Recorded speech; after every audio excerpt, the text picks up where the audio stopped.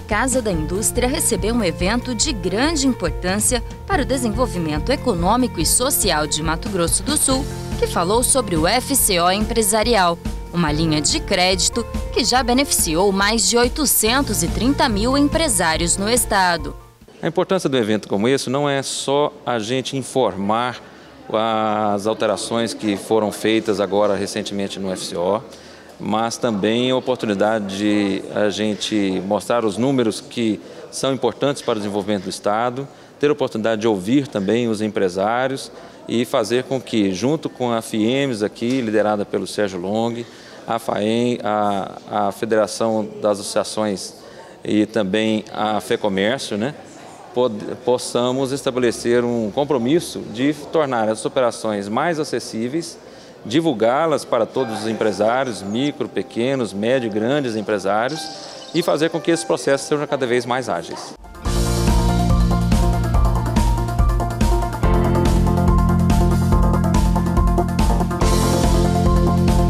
O financiamento tem condições especiais, com encargos financeiros, prazos e limites que se conciliam as atividades de produção, tanto do setor empresarial como do setor rural. O FCO sempre foi uma grande é, frente de desenvolvimento, um apoio às ações que a gente tem para fazer o desenvolvimento do Estado.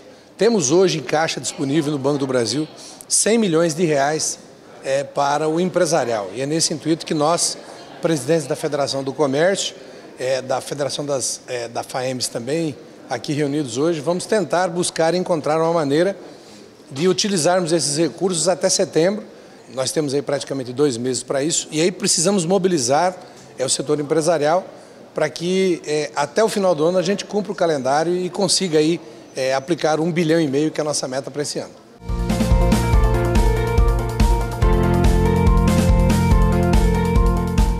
objetivo é oferecer facilidades e atrair novos projetos para ter acesso a esses incentivos que fazem falta para movimentar a economia do Estado.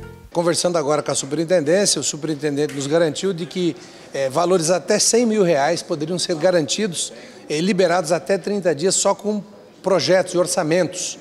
Né? Então, é um avanço nesse sentido. Vamos agora, junto à CEPROTUR, validar essa condição e daí viabilizar liberações até 100 mil reais que atende aí principalmente o pequeno é, empresário. O benefício é uma grande oportunidade para empreendedores e empresários que querem ampliar seus negócios.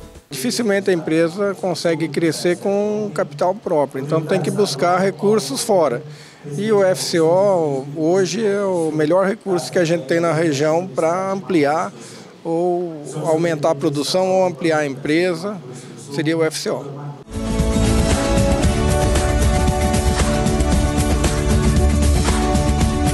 Interessados podem apresentar propostas até o dia 30 de setembro. Um processo muito simples. Dirigir-se a uma agência do Banco do Brasil, apresentar, fazer o seu cadastro, apresentar a sua proposta. Ela tem que estar de acordo com as diretrizes do FCO, itens que ele financia, né? E aguardar a análise do projeto.